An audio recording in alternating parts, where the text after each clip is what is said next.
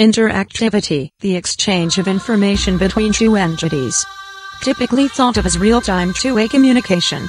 It can be traced back to the very first forms of communication itself, and perhaps even farther. What, then, is the future of interactivity today?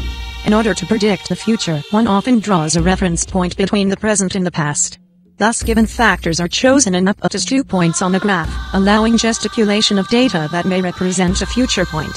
Such a graph could be used to determine specific numbers in relation to the point, resulting in decimals and integers. But instead, let's examine a general sense of how we communicate, and how it is changing. There can be no doubt that technological developments have changed the way that we interact with each other. In the modern world, examples may be found all around us.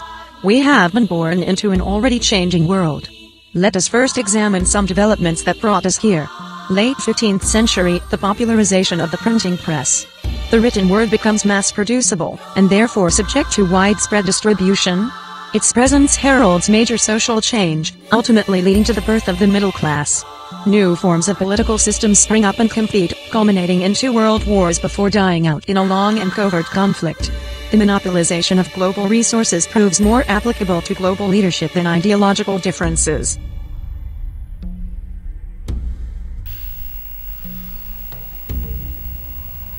You get up on your little 21 inch screen and howl about America and democracy.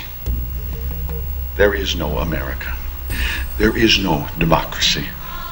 There is only IBM and ITT and AT&T and DuPont, Dow, Union Carbide, and Exxon.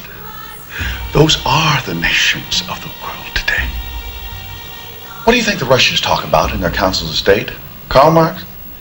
They get out their linear programming charts, statistical decision theories, Minimax solutions, and compute the price cost probabilities of their transactions and investments, just like we do. We no longer live in a world of nations and ideologies, Mr. Beale.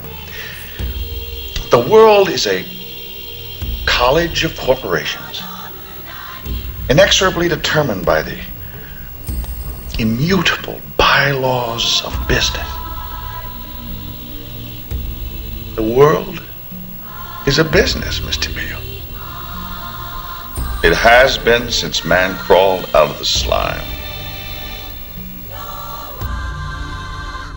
Late 20th century, the interweb becomes available to the public.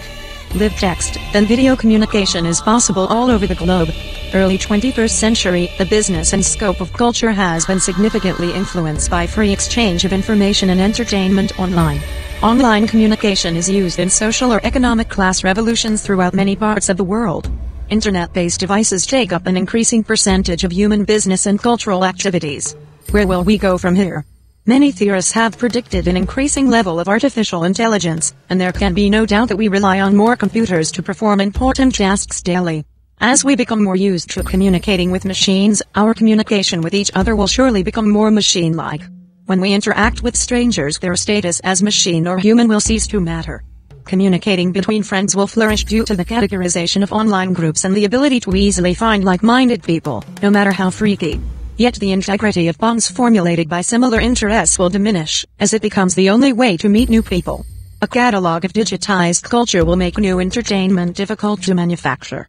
With time many humans will desire separation from a community that is so interconnected and personalized. Suicide and cult communities will see a brief spike.